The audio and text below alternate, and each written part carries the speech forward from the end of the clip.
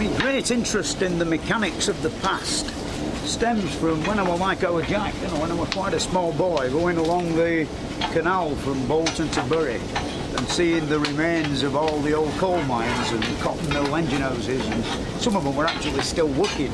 That's really why I've created all this lot here in my backyard. And it, it's sort of a vain attempt to hang on to childhood memories, I suppose.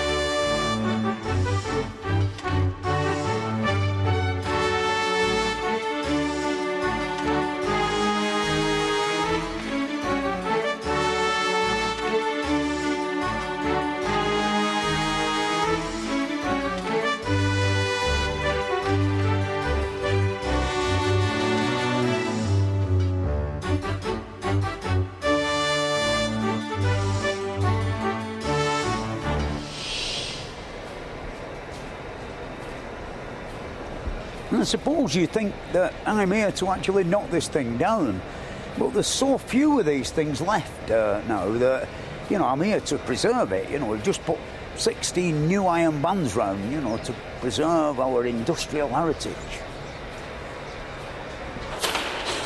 This is the Bancroft Mill Engine Trust, and up until 1978, there was a big weaving shed out the back, you know, this is all that remains of it the engine, the chimney and the boiler. And it's situated at Barnoldswick on the Lancashire and Yorkshire borders.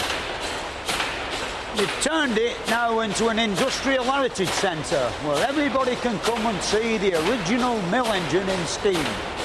There used to be loads of engines like this where I come from. Every coal mine and every spinning mill had one. But alas, they've all gone now.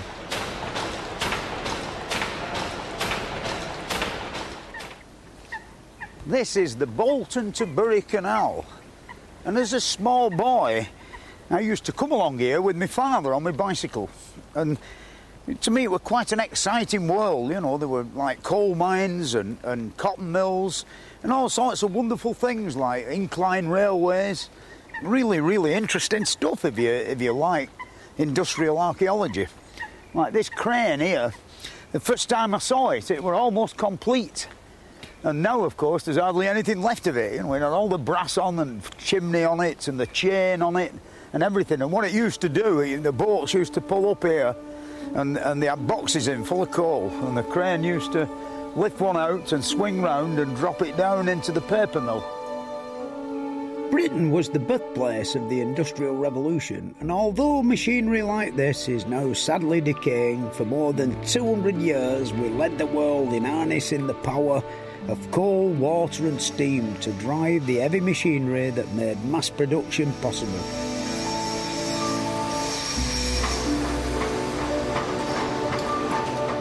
It's an era that I only saw the end of, but I wish I'd have seen more of it. It's only within the last 40 odd years that our great industries have disappeared.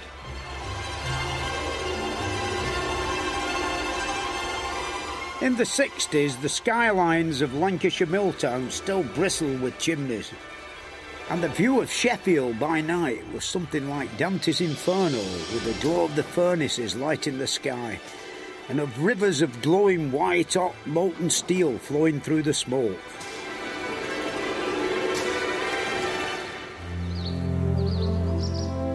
But as the mines, the mills, and the factories, and the steel workses, and the engineering workses closed, the demolition men moved in, and the machinery that had made Britain the workshop of the world came under the wrecker's hammer. The scrap merchants became wealthy as they stripped the brass and anything else that was worth having from the engines. Most people didn't care about what was going on, but there were a few who realised that that it was all a bit tragic and that if something wasn't done about it, there'd be nothing left to show for one of the most important parts of our history. People started to restore old engines and steam locomotive preservation societies began to appear. 30 miles an hour! Thanks to the interest and dedication of these people, a small part of our industrial story has been preserved for future generations.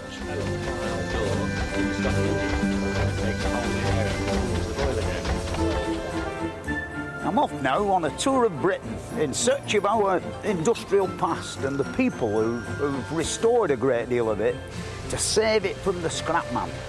And so future generations can see what a wonderful race Great Britain at one time was in, in the engineering field. My interest is mainly in steam, but the earliest form of power is one that's still with us. I went down to Shropshire to meet a man who's taken on a job in his back garden that's even bigger than anything I've got in mine. I was in a sad way. Yeah. Um, no machinery left. No. That no. had fallen down some years Mm. ago and been sold Yeah. for scrap. Uh, the- Peter Lewis has spent the last 16 years restoring this windmill round the back of his house. have to remember to take the ladder away each day. The windmill that Peter's restoring is a tower mill, and the sails are attached to the cap at the top. Oh, this is the bit that makes it face into the wind, eh? Yes, 24 Yeah. hours a day that goes round, keeps Yeah. it facing the wind. Yeah, it's really carpentry on a grand scale, this, isn't it? Aye. Great lumps a foot square and two mm. foot square and 18 inches square. yeah, and I believe you can disconnect it here and make it all go down by hand in That's right. case of disaster. You've got to have some means of coping if the fan Yeah. goes wrong. So this is what we do. Mm. High technology. Well, it works. Necessity is the mother of invention. Put the handle on. And off we go. Oh, roundabout job. Mm. Free tour. Yeah. You can see, the jolly miller up here in his smock, you know, thunder and lightning and, and a force 10 gale blowing. Aye. Yeah. Tower mills aren't the only kind of windmill. My travels took me to East Anglia where I found another type called the post mill. If you want to see a good example of a post mill, East Suffolk is the place to come. Right, the East Suffolk post mills were reputed to be amongst the best in the world, and here at Saxtead Green is a wonderful example of one. The fantail on the post mill is much lower, and that's because it's not just the top that turns to face the sails into the wind, but the whole windmill. So with a post mill, you can turn the whole building round, and if you've not got any wind, the corn grinding comes to an halt. Hello, Jonathan. Now then, Hello, Fred. Nice to see you. oh, what, what's this operation you're performing at present? Well, the old mill has got what we call tail-winded, Yeah, which it very rarely does, and that means it wasn't facing the wind properly. yeah. So we just have to get a little helping hand Yeah, to get it into the wind. it, yeah. yeah, hmm. yeah. How many how many tons are you actually turning round with this handle? Well, I reckon it's uh, about 18 tons. There's there's about six tons of sails altogether, Yeah. and two tons of stones and the superstructure. Do, do you want to have a go? Yeah, well, You're a strong chap. Quite Yeah, fantastic. yes. Wait a minute, in order to, it's quite easy, isn't it? Oh really? yes, Uh, yeah, yeah. yeah. You'll be all right when you get to the next parish. Yes. You'd never get 10 mile an hour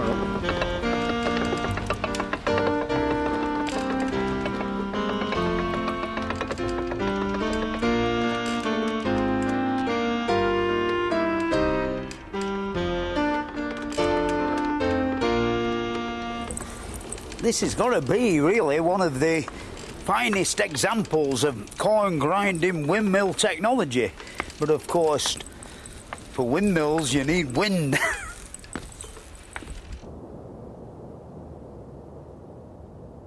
Water was a much more reliable source of power, and you can still see plenty of examples of working water mills around the country. Muncaster Mill is near Ravenglass in Cumbria, and the miller's wife Pam